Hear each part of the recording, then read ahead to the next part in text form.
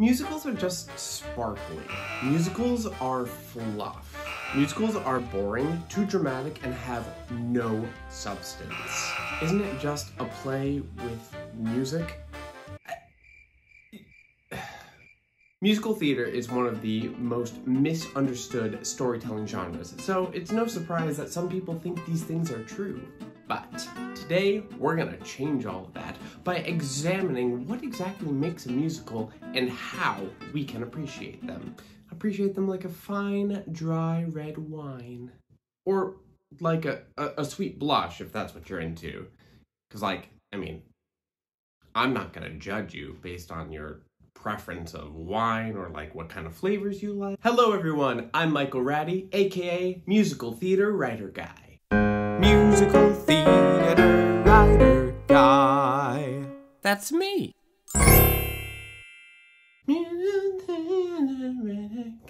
Okay. Welcome to my channel where I talk about everything musical theater from a writing perspective. I upload videos every other Friday, so make sure to subscribe and hit that notification bell to never miss an episode. As a performer with something in his eye. Oops.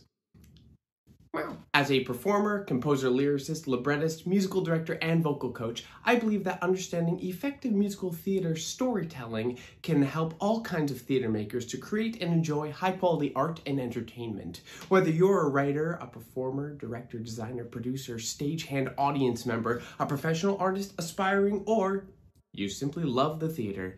My goal is to present you with an informational toolkit that will help to enhance your theatrical experiences and bolster your enjoyment of the theater. Now, here we are, nine glorious episodes into this educational YouTube journey, and it occurred to me that I forgot the exposition.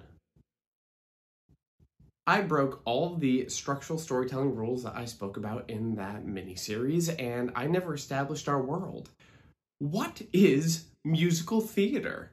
Well, my program says that this is going to be a musical, and I should probably know what that is. So, let's get going.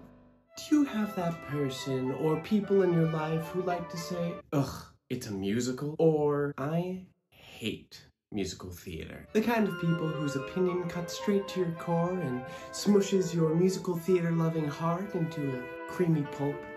Well, I'm here today to tell you that, yeah, their opinion is valid. Wait, what? Michael, you're supposed to be on our side, not against us. I am, dear cast member, but I think it's important to start this conversation from two places. Number one, a lot of people don't like musical theater because they don't understand it, and we can do something about that. And number two, not everyone is going to like musical theater, and that's okay. It is, I promise, I promise. But for those people out there who want to like musical theater or who are willing to give musical theater a chance, I'd like to welcome you into our community to learn a little bit about what it is that we do. I firmly believe that it's very difficult to like something if you don't know what it is, what it's trying to do, and how it's trying to do it. So, again, what is musical theater? Musical theater is, at its very core, live performance that uses text, movement, visuals, and vocalized music to tell a story. Now, most mainstream visual storytelling media use all of these components except for live vocalized music. Think of most TV, film, and even plays, which use all the rest of these components. Then what really makes it different than other visual storytelling media? Well, the components that stand out here are text, live performance, and vocalized music. But we can't halt the definition there, now can we? I already hear the objections brewing. But what about concerts? Or the opera? Ice cream, anyone? And these are good questions, so now we have to take it one step further. In musical theater, the text is the central storytelling element, which includes both the script and the lyrics, whereas the music supports the text by creating atmosphere, giving sound to subtext, and aiding comprehension. Did I lose you? Are you gone? Oh no, you're still there. Good. So, what does all this mean? It means that in musical theater, the text provides the story and the character elements, where the music provides all of the emotional colors. Now, I, I see that we still have some questions. Uh, Yes, you. But, but, but, why are people singing? That's just part of the genre. Singing is pleasant and effective, so we use vocal music. And that's not for everyone. I mean, not everyone likes the formulaic nature of murder mystery novels, and not everyone's going to like musical theater singing. Yes, you. Uh, but why does everything have to rhyme? Well, it doesn't. Often musicals rely on rhymes, but not always. Rhymes are there to help the audience understand what is happening without having to listen too hard. In fact, I made a whole video about it. Uh, yes, you? Why does everything feel so overly dramatic? Excellent question. Well, I already mentioned how music is used both to create atmosphere and to give sound to subtext. And when subtext is made more prevalent, everything feels more dramatic, naturally. Other genres do this too. Soap operas rely on over the top acting and dramatic camera shots.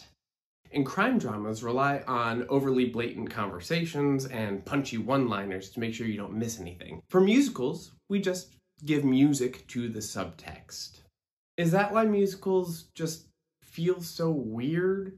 or like old school or like just not pop y.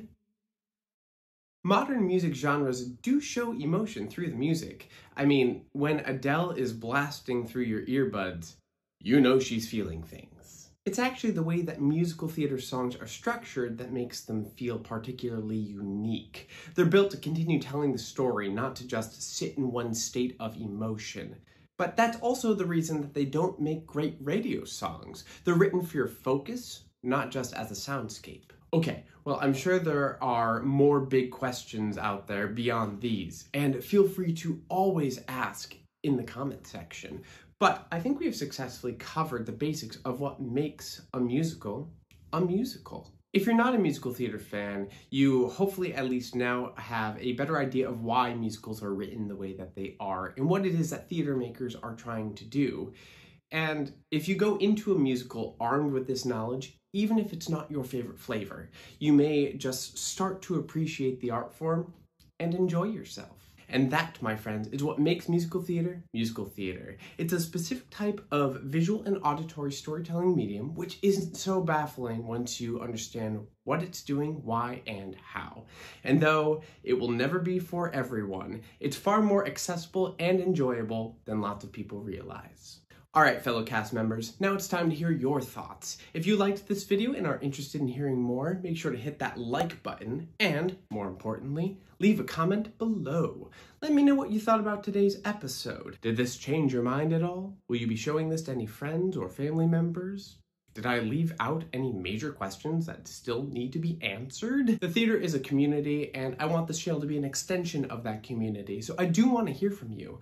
And if you'd like to become a part of our Patreon community with more information and more access, you can do so by clicking the link in the description below, knowing that I could not do all that I do without you and your support. The next episode will arrive in two weeks, but in the meantime, you can gather some more musical theater knowledge by clicking here. Thank you all for being here with me today, and I'll see you again soon. Cheers!